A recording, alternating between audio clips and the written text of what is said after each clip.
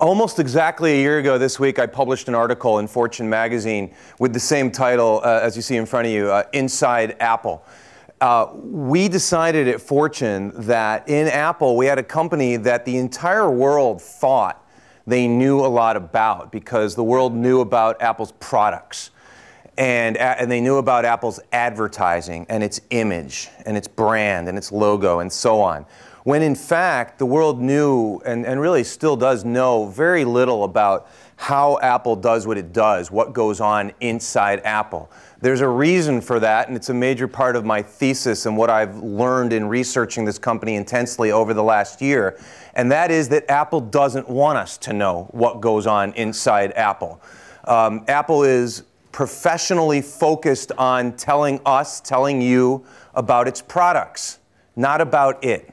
As a business journalist, my job is not to be concerned with what Apple is interested in us knowing, but with what my readers at Fortune magazine uh, ought to know and want to know.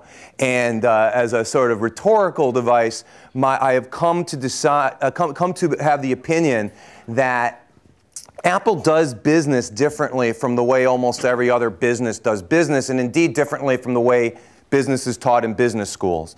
And my challenge as I've gone around speaking about Apple to business schools in particular, but to other businesses and other kinds of schools, is that if Apple does things differently than the way you're teaching it, and if Apple is the most successful, most admired, most valuable company in the world, shouldn't you at least be asking the question, are we teaching the right thing and should we be paying more attention to the way uh, to the way Apple does things. There is a uh, there is a, a, heavy don't necessarily try this at home component to learning about how Apple does what it does. Companies, people, uh, entrepreneurs will want to learn about Apple, not necessarily copy Apple. There's a vibrant discussion going on in Silicon Valley in particular. To be a successful entrepreneur, do you need to be like Steve Jobs? And the undercurrent to that is, thank you. The undercurrent to that is do you need to behave the way that he behaved? I would submit you do not, and you do not need to have every aspect of your company be like Apple. But uh, in managing a career, in managing a big company, in managing a small company, I think it really pays to understand Apple and to pick and choose what might be uh, applicable. It, before getting into the story of how Apple does what it does, it's really important to dwell for a moment on what Apple looked like in 1997 when Steve Jobs returned to the company. I've found that it's difficult emotionally for us in 2012 to relate to the fact that in 1997, Apple was essentially a broken company. It was 90 days from insolvency, meaning that it was in serious danger of running out of cash. Uh, it was losing money. This was the year that Apple fired Gil Amelio, the year that Steve Jobs eventually became interim CEO, the year that Microsoft made what was for Apple a humiliating $150 million investment in the company. A bit of history there. For Apple, it was some cash and a promise by Microsoft to continue uh, making uh, uh, Office for the Mac, which was critical for for uh, Apple. If Microsoft didn't make Office, uh, it, would, it would make the Mac far less valuable for people who needed Office. And for Microsoft, it was important too to keep the antitrust regulators at bay. Had Apple gone out of business, which was a very real possibility in 97, it wouldn't have been good uh, at all for, for Microsoft. So, what else characterized the Apple that Steve Jobs returned to in 1997? He'd been gone for 11 years. It was a bloated company. He would go on to fire about 4,000 middle managers. It had far too many products, and keep that in mind because getting rid of those products, simplifying, is perhaps the core, uh, the essential uh, tenet of what Apple is all about. Apple at the time made a digital camera ahead of its time. It had multiple uh, computers and uh, printers and the, uh, the ill-fated Newton handheld, handheld organizer. Jobs uh, got rid of, in addition to those, to those people, all of those products and pared the company down to essentially four computers, two laptops, two desktops. Uh, the next year, he hired a, a, an unknown supply chain executive named Tim Cook to fix Apple's uh, extremely dysfunctional uh, system of factories and warehouses. Cook closed them, and he, he emulated the model of the company that at the time was hands down the best at managing their factories in the world, and that was Dell. And Dell did that with contract manufacturers primarily in Asia, primarily in China. And all Cook did, I shouldn't say all he did, what Cook did was copy Dell's model of using contract manufacturers in China. So to fast forward to today, to, to flick on a topic that I don't dwell on, which is Apple's, uh, Apple's labor rights, labor, labor conditions at, the, at Foxconn factories in, in China. This is a direct result of what Tim Cook did in 1998 by closing Apple's factories uh, and warehouses that it, that it had owned. Had owned. The, the most important cultural thing that Steve Jobs did upon returning to the company in 1997 was to realize that Apple had become a, a fractionalized, divisionalized company of fiefdoms. Jobs decided that there would be no more fiefdoms at Apple. There would be one fief, and he would be the feudal lord. He wanted one Apple, one company, one brand, one way of communicating about the company. He wanted to do away with this notion that's very popular everywhere else in, in, the corporate world up to today of the general manager. He did not want people running a business. He wanted people building products. He wanted people functionally oriented, doing what it was that they do well, and he was going to orchestrate all of that, not have them orchestrate little pieces uh, uh, of it. An example, at the time there were 16 advertising budgets at Apple. Jobs said from now on there's going to be one advertising budget. And if your product, uh, if you think that your product deserves advertising support, then you come to me and you ask for it, and I'll decide whether or not we're going to add, we're going to add, uh, commit, ad, commit dollars to advertise your product. An important point: this was not about cost cutting. Over the next few years, Apple's advertising spend rose. It rose dramatically, as a matter of fact. It rose even more dramatically as a percentage of revenue. So, as if you think 97, heading into 2000, 2001, there was a, there was a recession in, in the United States. Apple actually lost money for a period of time after regaining profitability, but its advertising spiked. Why? Because he was making a long term investment in the brand that we all know and love and feel very strongly about today. Uh, from an academic perspective, an important concept for understanding Apple's leadership up until uh, August of 2011 is, is what the psychotherapist and business coach Michael Maccoby refers to as the productive narcissist. Uh, a, a, narcissist is someone who is uh, who is, who is, uh, who is in love with themselves, who is visionary, who uh, demands that people follow him or her, does not necessarily care about being loved, is willing to take great risks on behalf of the corporation. And here you see the, uh, the Greek god Narcissus staring fondly in, into the pond at, at his own image. Uh, what Maccoby understood was that is that narcissists can channel their narcissism in a productive way in the corporate world, and he coaches uh, executives whom he identifies as narcissists. This is a clinical uh, description, by the way, not any sort of uh, uh a put down and uh, get them to channel their narcissism in a productive way so that they can capture the best of their narcissism. As I was reading a piece he wrote in the Harvard Business Review, it, it, kept running through my mind. He's talking about Steve Jobs and he hasn't used the man's name yet. And then eventually he does, in fact, identify Jobs, among others, as examples of, of productive narcissists in the corporation. And, and as a productive narcissist is how Steve Jobs ran, uh, ran Apple.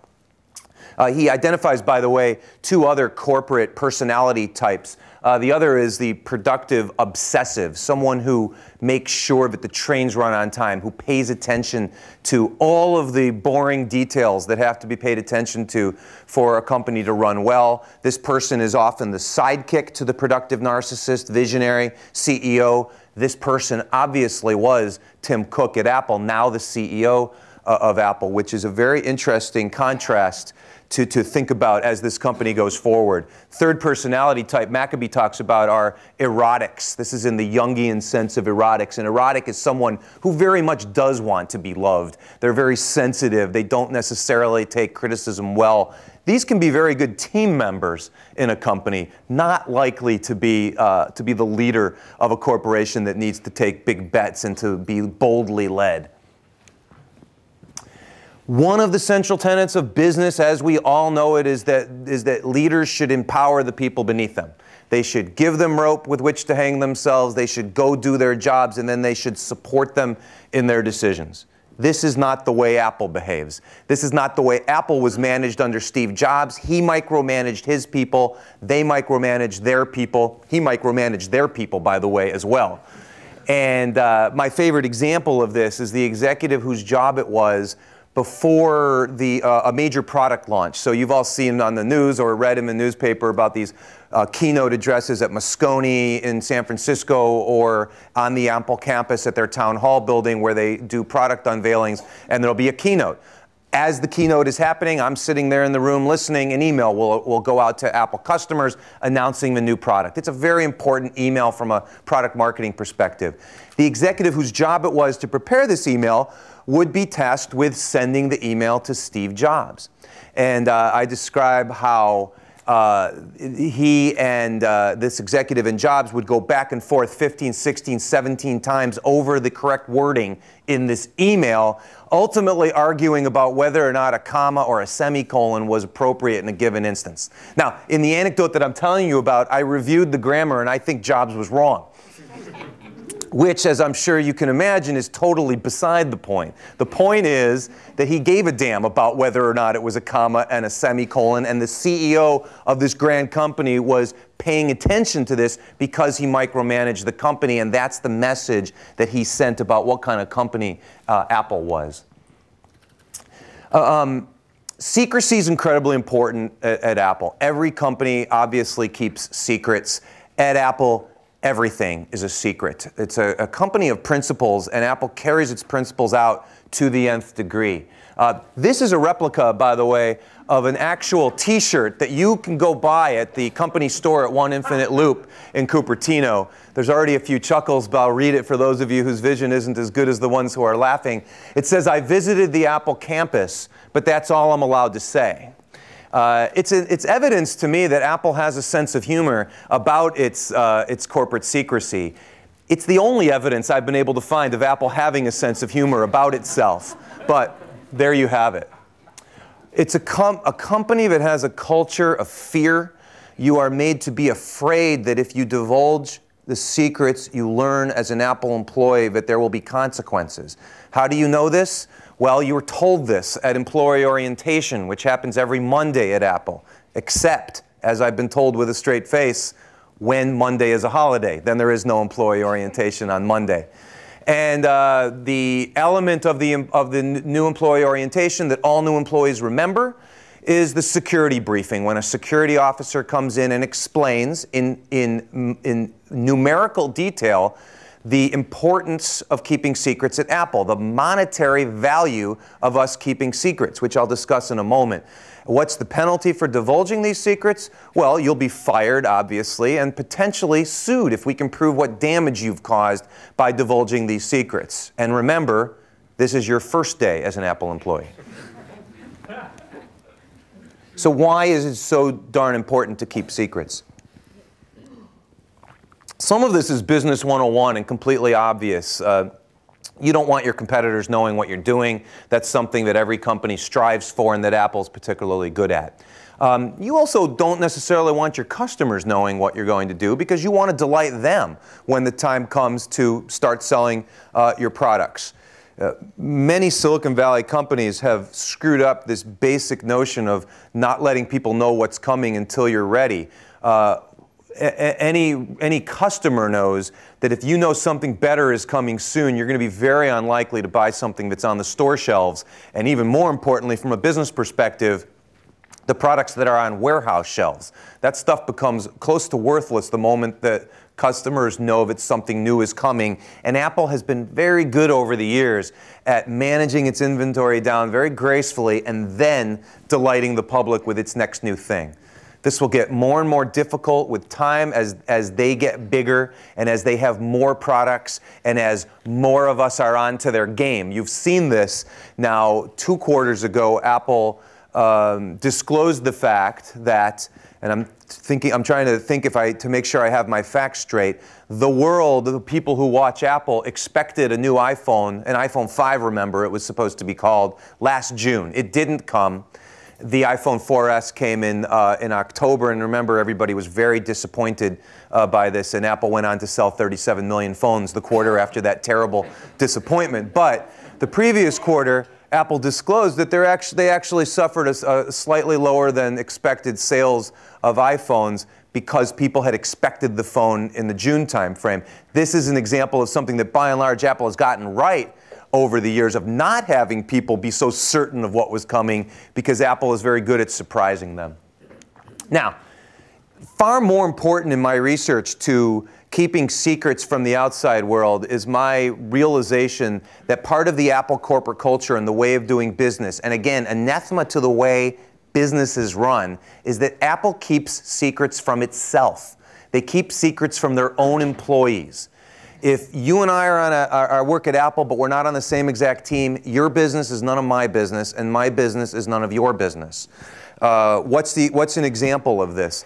Uh, at, uh, at Google, one of the reasons that is stated frequently for all the free food is that management wants people to come together and talk to each other in the cafeteria. Talk about what they're working on because there might be some serendipitous learning. At Apple, where by the way you pay for your lunch, it's not free, you don't talk about what you're working on because it's supposed to be a secret. Um, the, I, I liken Apple employees to horses fitted with blinders. You don't look left, you don't look right, you look forward and you charge forward with 110% of your energy. On that day that I mentioned to you when journalists and partners gather at Moscone Center in, in San Francisco or Yerba Buena for product keynotes, Apple employees also gather often in the cafeteria in Cupertino, where they watch the same presentation on a closed circuit broadcast television. Why do they go watch? Because it's the first time they're seeing the products that are being unveiled that day, too. And that includes if they worked on those products, because it's very likely that they would only have worked on some facet of the product, and so they wouldn't have seen the whole thing. I've spoken to relatively senior engineers who worked, let's say, on the hardware of an iPhone who had no clue what the user interface was going to look like up until the day that the product was going to be announced because they weren't on the UI team and that was none of their business. Why do this? I know uh, someone in the room must be thinking, well, if all you know what to do is what you're supposed to do, you're going to be incredibly focused on doing that. You're going to be disciplined and you're not going to waste a lot of time because there isn't a lot of time to waste at Apple. A, another cultural reason, and again, I, I want you to keep in mind, in my opinion, this is different from any other company I've, I've witnessed. It's more like a, a security uh, agency, and I have had people, as I've gone around talking about this, compare Apple. I, I, met a former employee of the NSA who said that it sounded a lot to him like the way the NSA operates, where this person said to me that he had a mirror on his computer because he had to be sure nobody was standing behind him while he was working. Sounds very Apple-like to me. Um, a cultural observation. I've been told over and over that there are that there, Apple is not a particularly political organization below a certain level. I approached this comment with journalistic skepticism. Yeah, everybody says there's not a lot of politics, but of course there's politics because there's politics everywhere, right? And then people kept people kept saying it to me, and it dawned on me. Well, they're being truthful. There's not a lot of politics at Apple because when you don't have any information with which to play politics, it's not it's unlikely that you'll be able to play politics. So instead, you go to work and you work. And that's, that's the, uh, in, in the short version, the way of life at Apple. Uh, it's, it's, a, it's a need to know culture where there is a language of disclosure. Uh, if we're going to have a meeting, I need to make sure that you're disclosed on the topic of the meeting. It leads to an awkward kabuki dance. How do I know if you're disclosed? If I can't mention the topic, but I, we, we, we try to figure it out.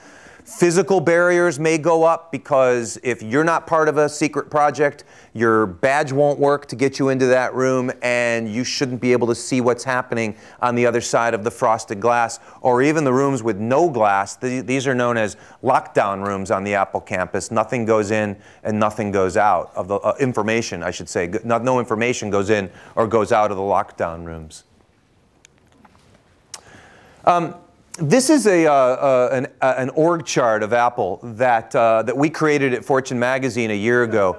It was, um, it was a controversial graphic in the magazine because Steve Jobs hated organizational charts he didn't want anybody to write down the identities of the Apple vice presidents because he didn't want those people to be poached. This would be an example of the type of information that you as customers and, uh, uh and, and uh, I as a journalist and competitors don't need to know. Uh, it's a, it's a, you can't read the small print, but it's highly accurate. These are the names of most of the vice presidents at Apple. Now it's starting to get a little dated as, as some people have started to leave, but it's, it's very few. It's, it's still mostly accurate. And what you can see about the organizational structure of the company, that at least in spirit is different from so many other companies, is that you, you can see how close the CEO is to everybody who matters. The CEO need reach only one, one level down to get to the vice presidents who are actually running the company. And I confess it was more dramatic when you had Steve Jobs uh, in the middle, the Sun King with the planets revolving, revolving around him. Apple has made famous sweating the details. You'd think that sweating details would be something that all businesses do, but I would submit that most are bad at it. Jobs famously wanted to, was, was very concerned about the makeup of the screws on the inside of the original Macintosh, which sort of built his reputation that, well, why in the world would you care about what the screws were like on the inside that nobody was going to see? But we've come to understand that if you obsess over details like that, that leads, uh, that, that leads to excellence.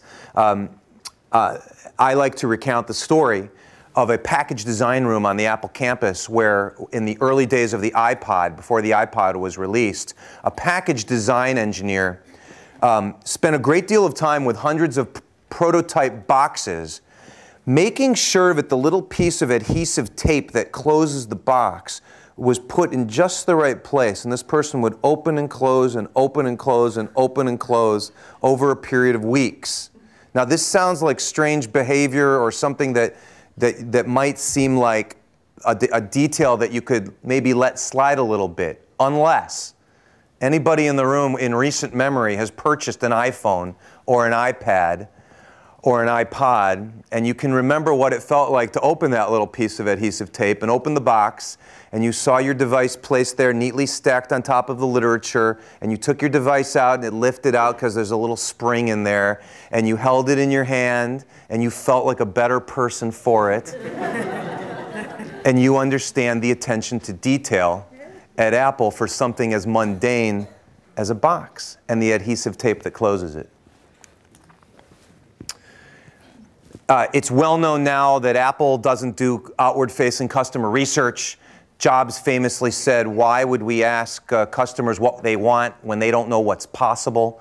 This flies in the face of what every other consumer company does. They do intense customer re- research, asking people what they want. Keep in mind, um, don't confuse this with thinking that Apple doesn't pay attention to how customers use its products. They do. the, the issue is once they've got them versus before they have them and what Apple's going to make for them. And uh, just for fun, I love this image of the Apple faithful standing in line at the 24 by 7 Apple store on Fifth Avenue in New York.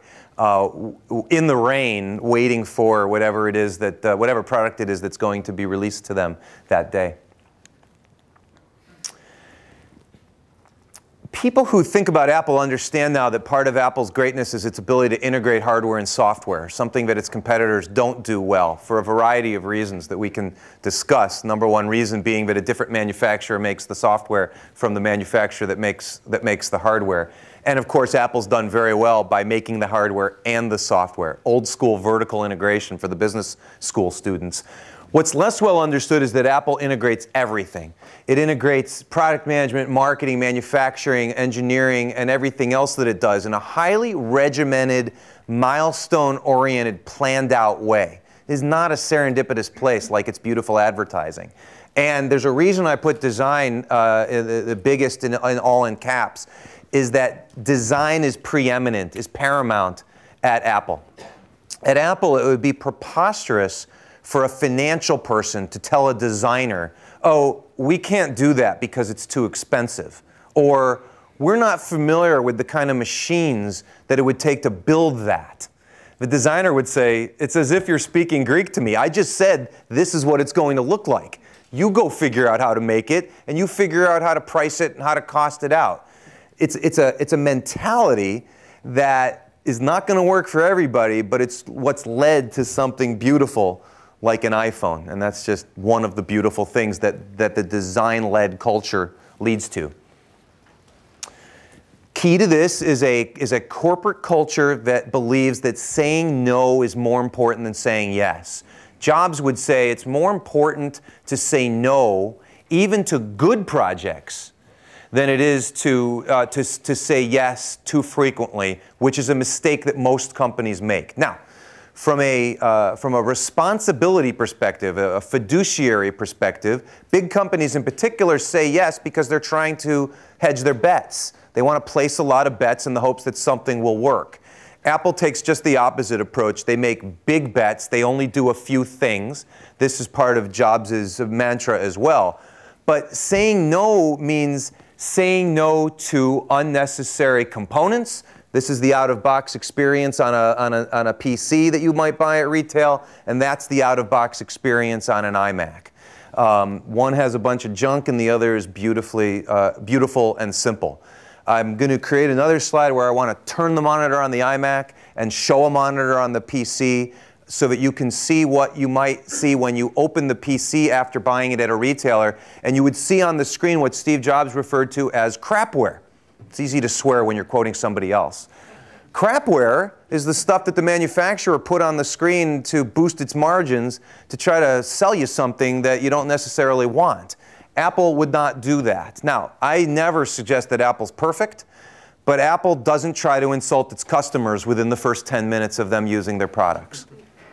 Um, because it says no to features it doesn't think that, that should be on the product. It says no to going into categories like serving big businesses, although it's doing that now. It said no for quite a long time. It says no to new products for a good long time until it's ready. So we waited a long time for the phone that Steve Jobs said we'd never get, and we seem to be waiting a long time for the TV that I think we all hope that, that we will get because Apple says no until it's ready to say yes.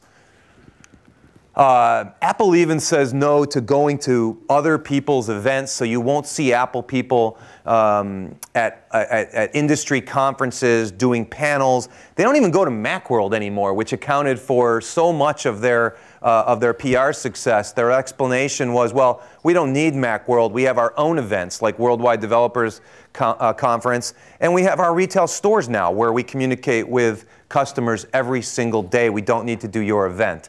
Just for fun, I mocked up what it might look like to see an Apple executive on stage at the World Economic Forum in Davos, because I promise you, you won't see that happening. Why would an Apple executive go all the way to Switzerland to have a, an airy-fairy conversation about the state of the world when that has nothing whatsoever to do with selling more iPads when we're far too busy in Cupertino doing things than to sit around hearing ourselves talk? If you see an Apple executive at the World Economic Forum in Davos, sell your Apple stock and short whatever you can because this will spell the demise of the culture that we've come to know about Apple.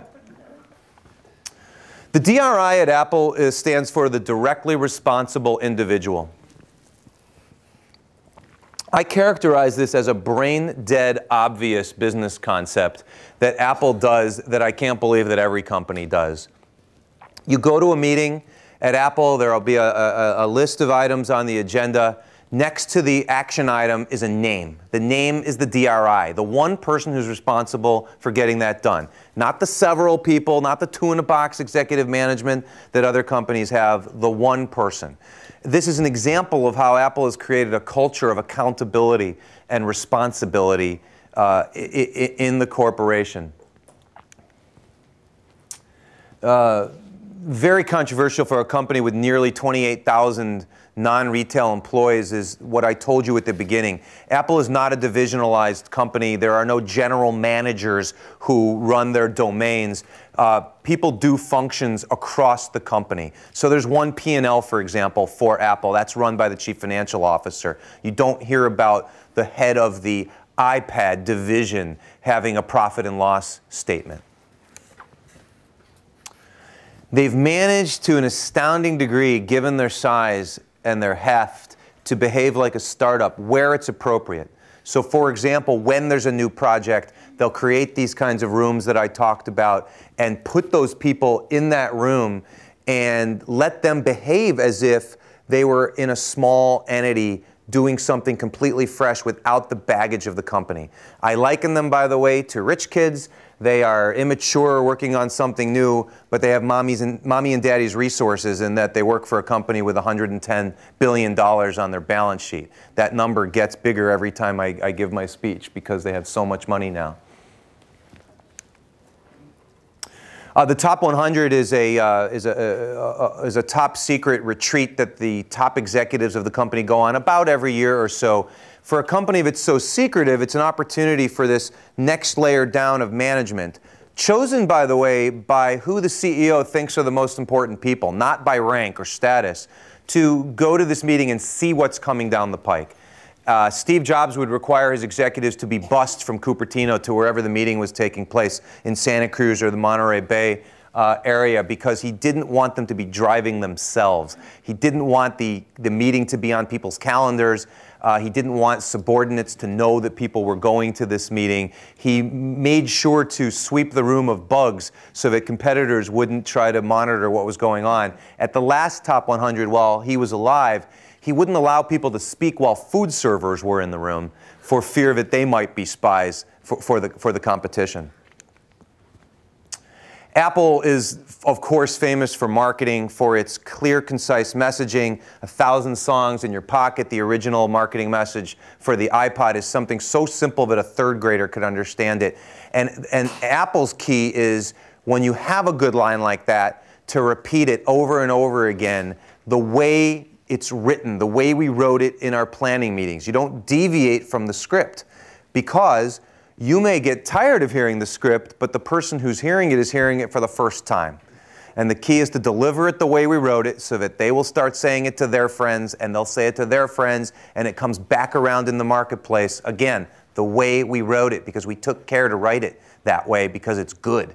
And that's one of the keys to, to Apple's marketing. Um, Apple's a company of contrasts, of paradoxes. On the one hand, they will describe themselves as being resource constrained, which I've come to understand is really about people. They're constrained in terms of the number of people that they can get on a project because it's hard to get good people. Having said that, when they want to spend money, they won't think about how much it costs to make their product, to design their product, and to sell their product. And the, the, the, uh, the image that, that, that you're looking at comes from the time in 2005. If you can think back many years ago, before high def was popular, Apple for the first time introduced uh, iMovie in high def, iMovie HD. They knew because they do pay attention to how their customers use their product that weddings were a popular use for, uh, for iMovie. So they, to illustrate the, or to, to demonstrate, I should say, the new I, iMovie in HD, they wanted to shoot a wedding. So they shot a wedding of an Apple employee at the Officers Club in the Presidio in San Francisco. Beautiful wedding. At night, you know, gorgeous, um, gorgeous uh, uh, uh, clothing and, and elegant setting. And they showed it to Steve Jobs, and he hated it. He said, it's too somber, it's too serious for, for, for, for what we're trying to express with iMovie HD. We need something tropical, something outside. I'd like to see feet in the sand and at the beach at sunset and maybe a tear running down the father's cheek. And by the way, this conversation happened about three weeks before Macworld. So, at great expense, the marketing team talked to talent uh, uh, agencies in Hollywood and said, "Do you know any beautiful models or actresses?" Because remember, in an Apple marketing in Apple marketing material, these people need to be beautiful because that's what we want to feel like when we get our Apple products. Do you know anyone like that who's getting married in Hawaii? Shortly before New Year's, and to make a long story short, they found somebody. They, at tremendous expense, they went and shot the wedding. They offered to supply a video to the bride and groom as well as paying for the flowers. And um, they sent the footage back to Cupertino. Steve liked it. It went up on, it, went, it was used at the Macworld. This was for a 30 second clip. This is uh, uh, still from, the, from that clip. And I don't know how much it cost, but it was a lot of money for a 30 second clip, and in Apple's way of viewing the world, it was worth it. And I'm not here to argue with them. And so, wrapping up this theme of simplification, simplification is, a, is something that Apple takes seriously across the whole company. It's a company that edits down things that, that, that are extraneous. This is the second replica that I'm going to show you. It's, it's, it's what it says on an actual wall in a marketing building on the Apple campus. And so, when you go to work in this building each day to get to your office, you walk around this wall to get to your desk. Only this isn't exactly how it appears, this is.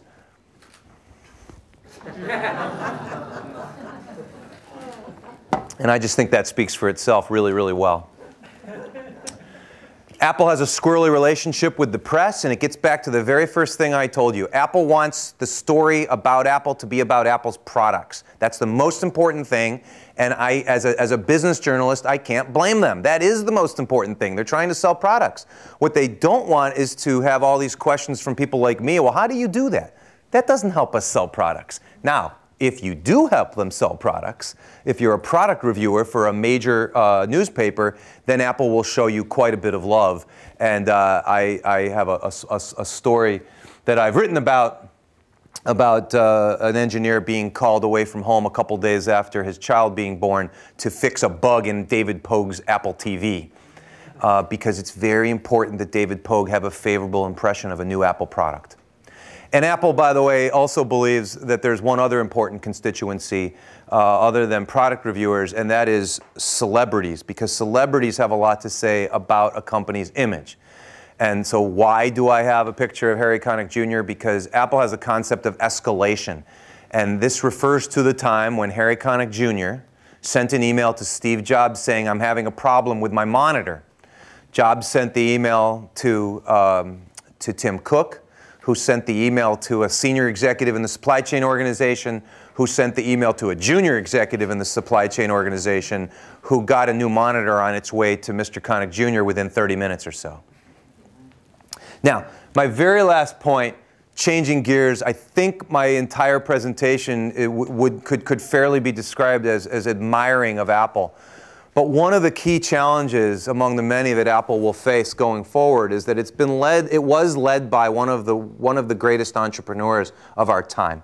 And in fact, uh, uh under occupation on Steve Jobs' death certificate, his family listed entrepreneur. And it's a company that has behaved entrepreneurially almost astoundingly given its size. Today, the company is not led by entrepreneurs. Tim Cook in the upper left here bled IBM Blue for the first 10 plus years of his career.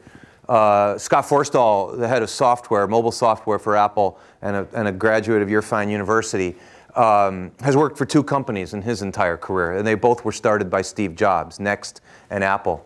Jony Ive, who is world renowned as a, as a, as a designer of beautiful products, uh, only briefly ran his own company. It was called Tangerine. It was a design consultancy in London.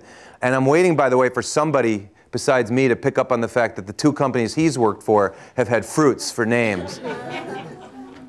Thank you, because that was completely irrelevant. But um, he gave an interview once where he said he didn't really care for the business aspect of, of, of, running his own firm. He really likes designing things. And bully for him, that's exactly what he's done for the last, uh, for the last 15 plus years at Apple. But that's very different from being an entrepreneur. And uh, I've been too lazy to get Bob Mansfield, the head of hardware, out of, out of my slide. I don't think he's an entrepreneur, but not nearly as important uh, to my story as these, as these, other, as these other three leaders. Um, I'd be delighted to take your questions, and so, and, and so thank you very much for your attention.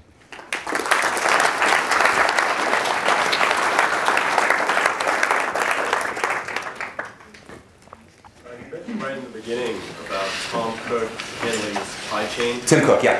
Tim Cook, sorry about that.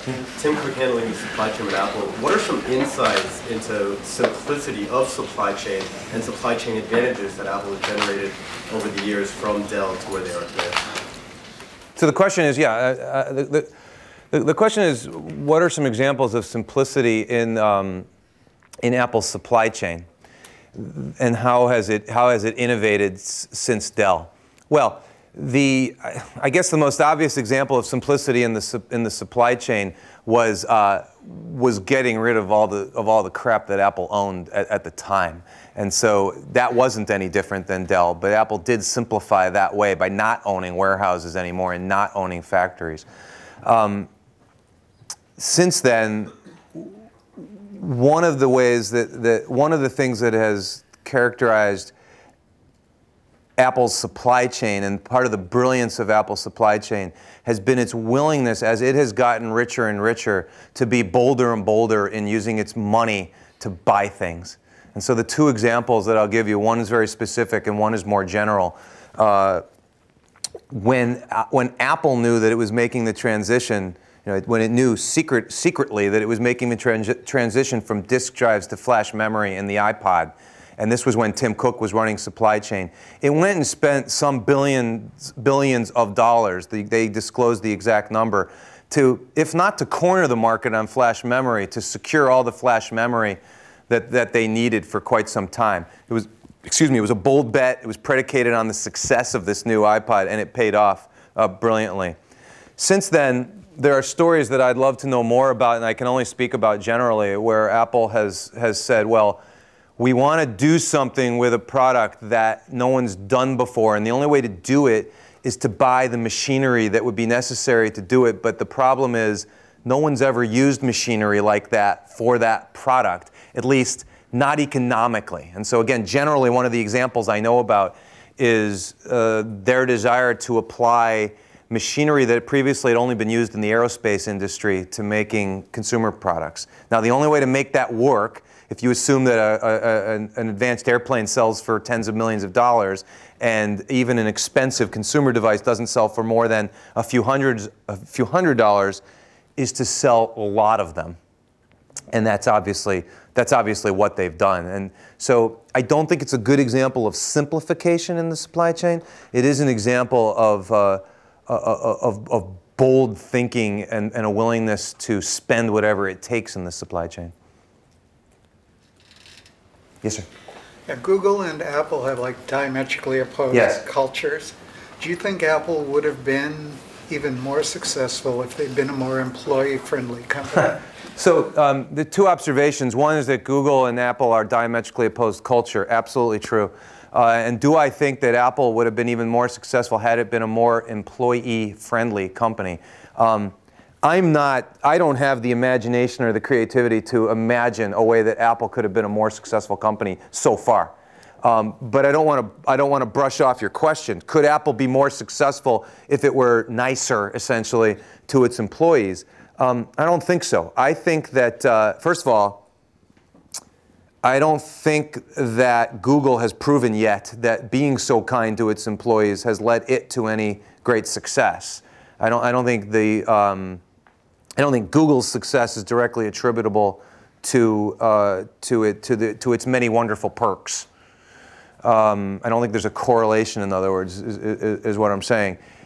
Apple is a culture of work. It's not a culture of play. Now, I'm, I'm paraphrasing, but Apple doesn't believe that it's necessary to entertain their employees the way so many companies in, in the world do. Um, they believe that it's important to give their employees the opportunity to do the best work of their careers. Now, I know that sounds corny, but that's the way you hear Apple people talking about their experiences. It's difficult, it's stressful. Um, I'm not. I'm not always. You know. I'm not. I don't always get a, a pat on the back. I'm not necessarily celebrated for my for my successes. But boy, I am doing better work than I've done anywhere else, and I feel privileged for for the opportunity. Um, that's, that's Apple's way. I've, I've written a lot about this and I've talked a lot about it. I try to present it in as non judgmental a way as possible. I, I'm not saying that every company can do this.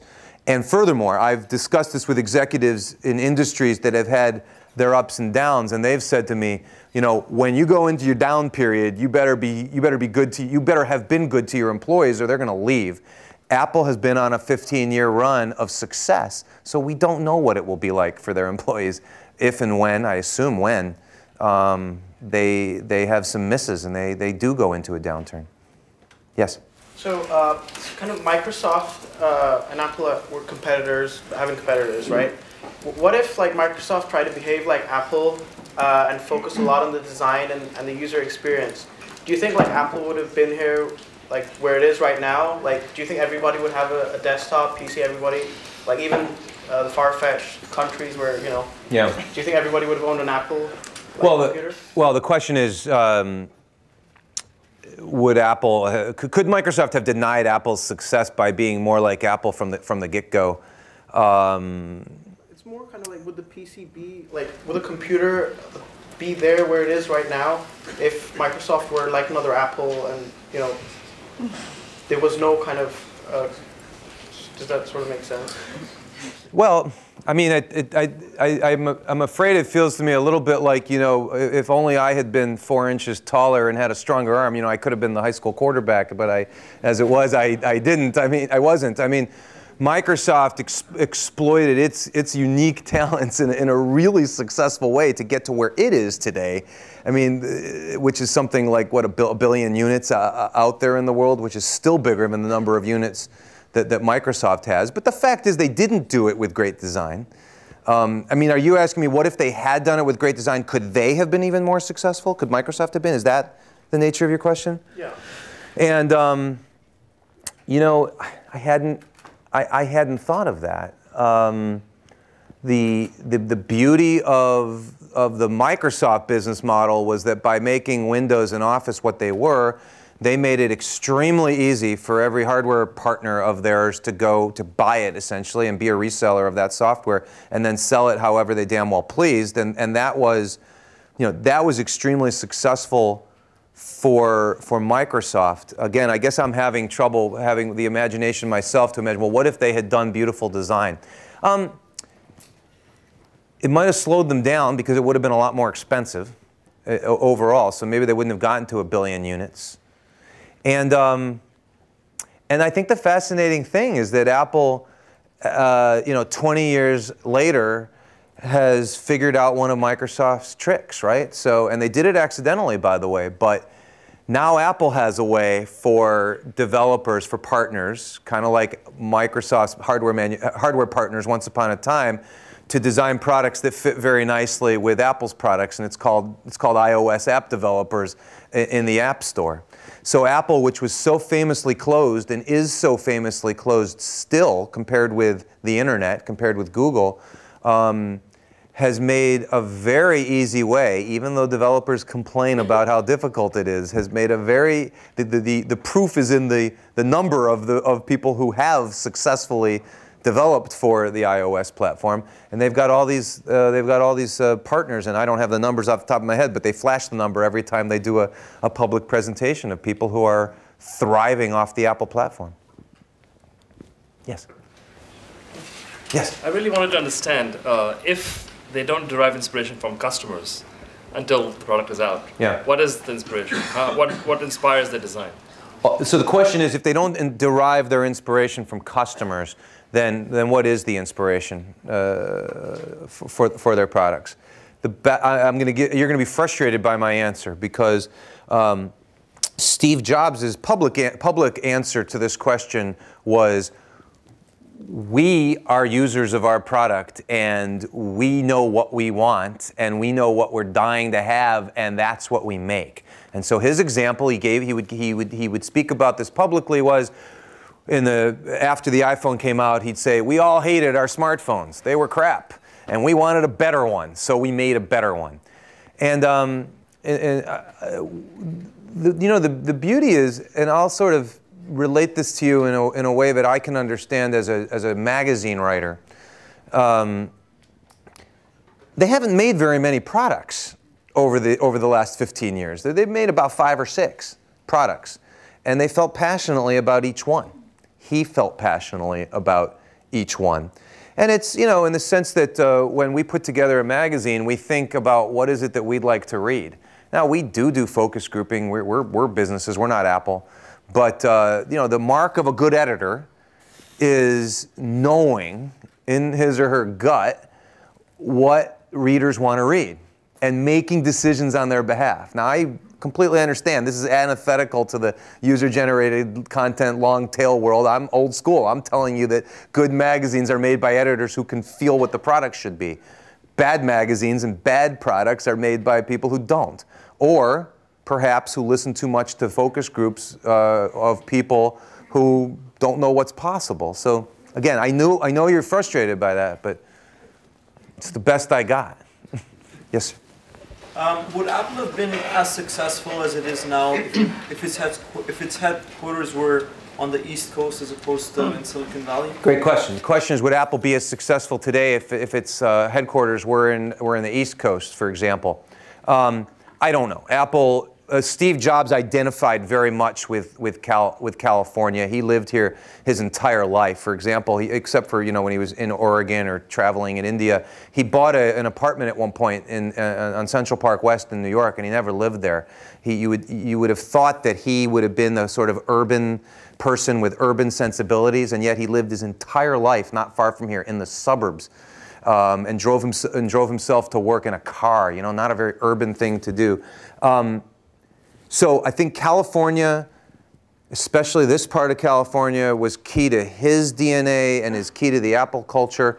But more importantly, you've given me an opportunity to tell you one another unique thing about Apple in 2012 is that Apple is a headquarters-centric company. Things happen in Cupertino. Meetings happen face to face. They don't put important executives uh, in, uh, in New York and Mumbai and Boston and London and, and, and so on it, it's not a video conference culture. It's not a uh, it's it's not a teleconference culture. If you're visiting factories in China, for example, you get the prototype and you come back to Cupertino and you talk about it, where you can see somebody. Um, and so, you know, beyond giving you the historical atmospherics of the company's importance to California and California's importance to the company, what I can say with more confidence is that uh, wherever Apple's headquarters is, is, is what's really important to Apple. I think it, you know, maybe could have been in Boston, but Steve's feet would have gotten cold if he was walking around in the winter with no shoes on. Yeah. Thank you. Uh, a couple questions. First, who is Apple's most formidable competitor today? Uh-huh. And then what is Apple's most significant challenge today? Um, and then finally, I'm interested in how these challenges will play out. What could a competitor use and, with this knowledge about Apple to be more competitive? Okay, so I'll, i think I can remember your first two, and then maybe you can remind me of the third one. So, you know, who, is um, who is Apple's most formidable competitor today? And number one, and number two, what are its biggest challenges? Um, you know, I don't have any great insight that, that will that will shock you. Uh, Google is an important competitor because Google is engaging Apple in each of its key areas, most particularly in uh, mobile, mobile hardware and as of yesterday and mobile software. And Google's an interesting competitor because it's taking a completely different approach in almost every way from Apple. So that makes that makes that makes Google interesting. Samsung is interesting because it's also succeeding in the mobile device world. I mean, Apple is almost exclusively about mobile devices now, despite its very healthy um, Mac, Macintosh business. I think Apple's biggest challenge is, is complexity. It's a, uh, it's a um, oh, uh, last year it had $108 billion in sales. It, it's, it, it has hundreds of stores around the world now. It is no longer the case that they can put all their products on one conference room table, which they were fond of saying for a number of years. And I think as they get bigger and as there's more scrutiny on them, that will be a big challenge for them. So remember, 10, 15 years ago, Apple's fans, the fanboys and the fangirls, paid very careful attention to everything that Apple did. No one else did. Today, we're all Apple fanboys and fangirls in, in, one form. And I use myself as an example of this. I've been a PC user this entire time. I didn't care to, to make the switch to, to a Mac. Even when I moved to Fortune, which is a Mac shop, I wanted to stick with a PC. Then I got an iPod and I started using iTunes. And eventually I bought an iMac for myself with my own money at home. And I got an iPad and so on. And I think this is a common uh, experience. I'm the reason that Apple's a, a $600 billion market cap company, not the fanboys and fangirls. And so my point is, that the, the, scrutiny it will be so great, they'll be so under the microscope that it will be harder for them to keep all the balls in the air, I think. And then I thought I was going to go gracefully into your third question. Is what, and, and this is my, and this is what I think competitors can use. I mean, competitors can understand better how to go up against Apple by being more knowledgeable, knowledgeable about how, how Apple does it. So uh, Apple will allow a very few people to speak publicly about its products. Other companies will allow all sorts of executives willy nilly to go out talking about their products. Um, I think as time goes by, uh, with, with partly with the work of people like me and others, the competition at least will have a better understanding of how Apple does what it does, and then it'll be up to them to apply it. Yeah. If, uh, if you love what you do, you're not working. So has Apple been able to transcend i- in the psychological mindset of the people that work for that company? Yeah. That they can be uh, fearful of the secret leaking, but they don't have to be fearful of being so incredibly focused on what they're doing that they can do it without fear. You know, so the question is y- y- the, this, uh, an assertion and then a, and then a question, which is if you love what you do, then you're not working. Number one, and number two, has Apple been able to get people to, you know, not not be afraid of, of getting the job done? I guess fair paraphrase. And and I. I Putting on my Apple analyst hat, I don't agree with the assertion or, the, or you know or the or the thesis behind the question. Um, you can love it and it still work. I mean, it's still hard, and that's the Apple. That that's the Apple mentality. You are still busting your butt to get it done. I mean, you know, I'm sure boxers love to box, but you wouldn't say that they're out for a, a stroll in the park. And it's not a bad comparison to what you know. uh, Life at Apple is a fight. Uh, they describe it that way, and so no, I think they are fearful, and they are they are busting their butts to get it done, and many absolutely love it. But that doesn't mean that they don't think about it as work. Do I have time for one more? Sure, over there. Uh, how does the modern Apple deal with internal mistakes? Or do we simply not know about it because of the secrecy? How does the mo- how does the modern Apple deal with internal mistakes, and uh, or do we not know about them? You know, we we um, we hear bits and pieces, and but but not a lot, not as much as we might like. I'll, I'll make an observation. I mean, generally there are mistakes happening all the time at Apple, and we don't hear about them. But mis- they're, they're they're accepting of mistakes. Mistakes means that something didn't work out right, and they're constantly you know tinkering and and working on things that may never see the, the light of day. They've been blessed that the relatively few mistakes they have made publicly over the last 15 years at least have been minor ones, and they've been tiny in comparison to the massive successes. And so, no, we don't know. They say, by the way, that they're self-critical and they're, you know, they, they want to make mistakes and then correct them, but we don't have a lot of data on it. I don't have a lot of data on it. Well, join me in thanking Alan Listen Lashinsky for this fabulous. Thank you. Thank you, everybody.